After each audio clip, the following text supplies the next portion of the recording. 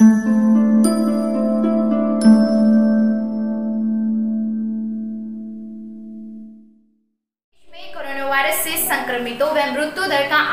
भले ही कम हो, लेकिन इसके भय व लोगों की जान बचाने के लिए किए गए लॉकडाउन से आज देश का बड़ा तबका तनाव में अमीर हो या गरीब, सभी चिंता में है। किसी को रोटी की चिंता है तो किसी को नौकरी की। कोई धंधा ठप होने से परेशान है तो कोई भविष्य को लेकर तनाव में यहाँ तक कि झुग्गियों, झोपड़ों में रहने वाले तक किसी न किसी चिंता में है। लेकिन इन सबसे अलग है एक ऐसा वर्ग जो भयावह त्रासदी में भी मस्त है, जिसमें लाखों लोग सेवा कर रहे हैं, धर्म भी कमा रहे हैं और कर्म भी बना रहे हैं। ना कोई भय है, ना कोई चिंता, बल्कि सेवा पाकर खुशी से फूले नहीं समा रहे और वो है राधा स्वामी सत्संग व्यास के सेवादार, जो देश भर के सत्संग घरों में सेवा कर देशवासियों की मदद कर रहे हैं। जी हाँ सत्संगी कैसे सेवा कर रहे हैं, कितनी सेवा कर रहे हैं, किसको लाभ मिल रहा है, और ये सभी हम आपको दिखाएँगे और बाबा जी की आवाज़ भी सुनाएँगे। लेकिन उससे पहले देखिए रिपोर्ट आज देश ही नहीं, बल्कि पूरी दुनिया ऐसे भयानक दौर से गुजर रही है, जिसकी किसी ने कभी कल्पना भी नहीं की होगी। कोरोना वायरस से संक्रमित लोगों की संख्या लगातार बढ़ती जा रही है। एक दिन में अमेरिका में एक हज़ार लोगों के मरने की खबर सामने आई है। वहीं देश में भी पिछले दो दिनों में 90 से ज़्यादा मौतें हुई है और 800 से ज़्यादा लोगों के संक्रमित होने की पुष्टि हुई है। पिछले ढाई सप्ताह से पूरा देश लॉकडाउन है। दावे किए जा रहे थे कि 14 दिन में वायरस का असर खत्म हो जाएगा। सावधानी के तौर पर 21 दिन का टाइम लिया गया था, लेकिन 21 दिन पूरे होने को है। संक्रमितों की संख्या लगातार बढ़ती जा रही है। राज्य सरकार ने सभी हॉटस्पॉट पर कर्फ्यू लगाया है, क्योंकि यही एक अंतिम उपाय सरकार के पास बचा है। विशेषज्ञ कह चुके हैं कि यदि समय रहते लॉकडाउन ना किया होता तो देश के हालात बहुत खराब। बल्कि इटली और अमेरिका जैसे हो सकते थे। रोज़ाना पूजा नमाज़ पाठ करने वाले मंदिर, मस्जिद, गुरुद्वारा जाने वालों के लिए आज सब दरवाजे बंद हैं, लेकिन इसी बीच कुछ दर आज भी खुले हैं जो न केवल हज़ारों लोगों की ज़िंदगी बचाने का काम कर रहे हैं, बल्कि लाखों लोगों का पेट भरने में सरकार की मदद कर इंसानियत को बचाने में जुटे उनमें से सबसे पहले नंबर पर है राधा स्वामी सत्संग व्यास जी। जी हाँ यहाँ के प्रबंधन देखकर, सेवा भाव देखकर हर कोई हैरान है। और सबसे महत्वपूर्ण बात है कि इनके पीछे खड़ी है उनकी रूहानी ताकत, जो रोज नई ऊर्जा भरती है। वो खुद इनके बाबा जी हैं, यानी कि बाबा गुरिंदर सिंह ढिल्लू हैं। जो अपने सेवादारों को दर्शन देकर उनके हौसलों को बुलंद करते हैं। यूँ तो देश में तांत्रिक, व ज्योतिषी की भरमार है, लेकिन किसी ने भी इस बीमारी को लेकर ना कोई घोषणा की है, ना ही कोई उपाय बता रहा है। सभी की दुकानें बंद है, लेकिन जिन्होंने कभी ना तो कोई घोषणा की है, ना कभी किसी को भगाया, बल्कि हमेशा लोगों को पाखंड व बुराई से बचाया ही बचाया। कई बार कुछ लोग पाखंडियों के चक्कर में इनकी बड़ी आलोचना करते दिखे गए हैं। लेकिन आज उन्हें ये भी देख लेना चाहिए कि आज यही सत्संग घर और यही सत्संगी देश व मानवता को काम आ रहे हैं। आइए आपको दिखाते हैं ये खास रिपोर्ट। आज देश भर में दर्जन भर बड़े आश्रमों के अलावा सैकड़ों सत्संग घरों में रोज़ाना करीब एक करोड़ से ज़्यादा लोगों का खाना प्रतिदिन बनाया जा रहा है। ज़्यादातर प्रशासन के द्वारा ही वितरित किया जा रहा है। जैसा कि आप देख रहे हैं, ये है राधा स्वामी सत्संग व्यास के मुख्यालय, जो पंजाब के व्यास में स्थित है। यहाँ रोज़ाना सवा लाख लोगों का भोजन बनाया जा रहा है। देखिए कितनी सफ़ाई से खाना बन रहा है। कैसे मशीनों से पहले आटा गूदा जा रहा है, फिर मशीनों से रोटियाँ एवं पूरी तैयार की जा रही है। किस तरह मसाला चावल तैयार किए जा रहे हैं और देखिए कितने सफ़ाई से अचार के साथ पैक भी किया जा रहा है। और बाद में सेवादार बड़े ही अनुशासन से गाड़ियों में लोड भी कर रहे हैं। इसी तरह देश भर में करीब सैकड़ों सत्संग घरों में ऐसे ही खाना बनाया जा रहा है और खास बात यह है कि यहाँ खाना बनाने, पैक करने और ढोने में जुटे हज़ारों लोग। ना तो दिहाड़ी के हैं, ना ही कोई प्रोफेशनल बल्कि ये सब सत्संग घरों के नियमित सेवादार हैं, जो कि निस्वार्थ भाव से सेवा करते आ रहे हैं और यह सेवा करके इनको कितनी खुशी मिलती है इसका अंदाज़ा नहीं लगा सकते। ये तो इनका दिल ही जानता है, क्योंकि इसे यूँ भी समझ सकते हैं कि जो सेवादार यहाँ नहीं आए, अर्थात जिन्हें सेवा नहीं मिली, वो सेवा पाने के लिए लगातार तड़फ रहे हैं। इस बात से आप इनकी भावनाओं और खुशियों का अंदाज़ा लगा सकते हैं। हालाँकि ऐसे समय में जब लोग दहशत और डर के साय में जी रहे हैं और ये सेवादार सेवा करके मज़े में है, क्या ये आसान है? बिल्कुल नहीं। लेकिन इसके पीछे रूहानी ताकत मतलब पूज्य बाबा जी का आशीर्वाद लगातार इन्हें मिल रहा है। जो इनके अंदर अनलिमिटेड खुशियाँ भरता है। और यह भी जानकारी मिली है कि बाबा लगातार अलग सत्संग घरों में जाकर न केवल संगत को दर्शन दे रहे हैं, बल्कि उन्हें अपने मुखारविंद से अमृत रूपी वचनों से निहाल भी कर रहे हैं।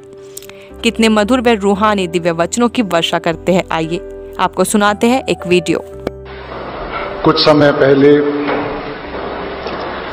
मौका मिला आपसे मिलाप का।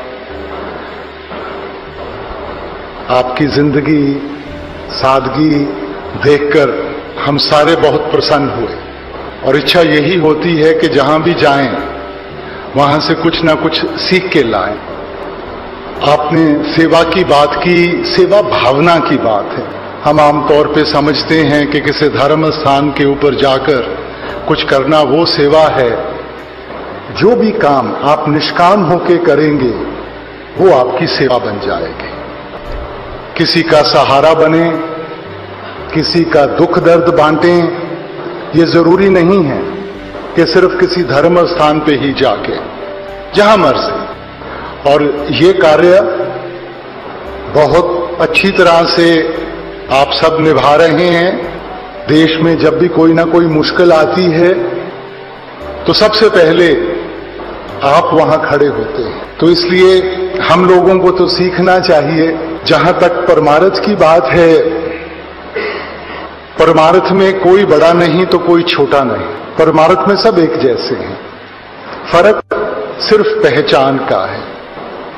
अगर हम किसी को शिक्षा में या किसी भी काम काज में किसी को अपना गुरु मानते हैं, वो सिर्फ़ इसलिए कि हम सोचते हैं कि उससे हम कुछ सीख सकते हैं। तो परमार्थ में भी वो एक उदाहरण बन के आते हैं।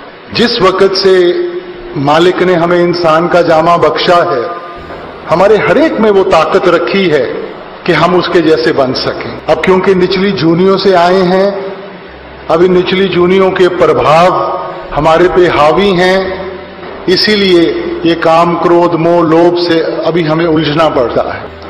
तो वो एक उदाहरण बन के आते हैं कि अपने उदाहरण के ज़रिए हमें दिखा सकें, सिखा सकें कि हमने मन को कैसे काबू करना है, कैसे उस निष्काम भावना के साथ एक दूसरे की मदद करनी है और अपने आप को मालिक के लायक बनाना है। इसलिए परमारथ में मालिक ने रूहानियत की दौलत सभी में रखी है। भीखा जी एक महात्मा हुए हैं आपने फरमाया था, भीखा भूखा, को नहीं, सबकी गठड़ी लाल, गिरह खोल नहीं जानते, ताते भय कंगाल। के मालिक ने तो सबको रंग में रंगा हुआ है, किसी भी मज़हब के हो, किसी भी धर्म। मालिक एक है, और भक्ति एक की करनी है, हम अनेकता में फंस गए।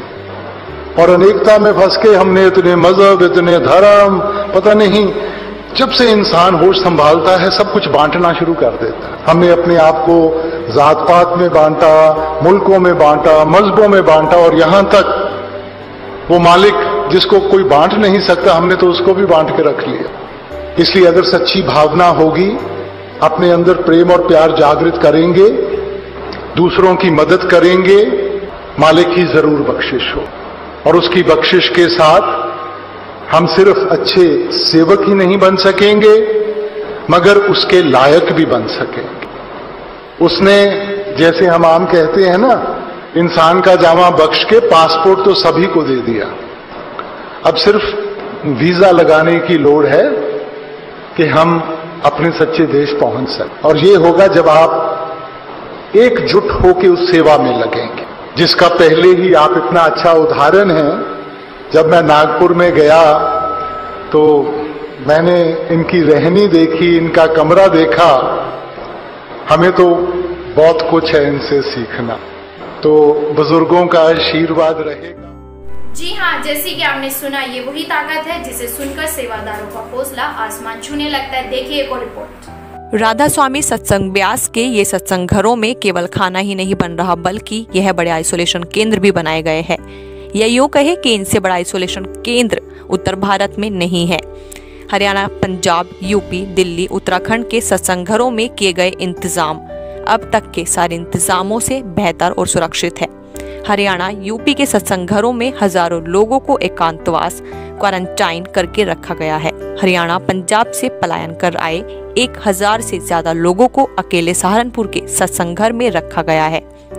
जहाँ उनके रहने के अलावा तीनों टाइम खाने, पीने की सभी सुविधाओं के साथ साथ सुबह शाम टहलने, योग, प्राणायाम, टीवी स्क्रीन पर आध्यात्मिक भजन व सकारात्मक ऊर्जा से प्रेरित करने वाले वीडियो दिखाए जा रहे हैं, जिससे वहाँ रह रहे लोग हैरान होने के साथ आनंदित है।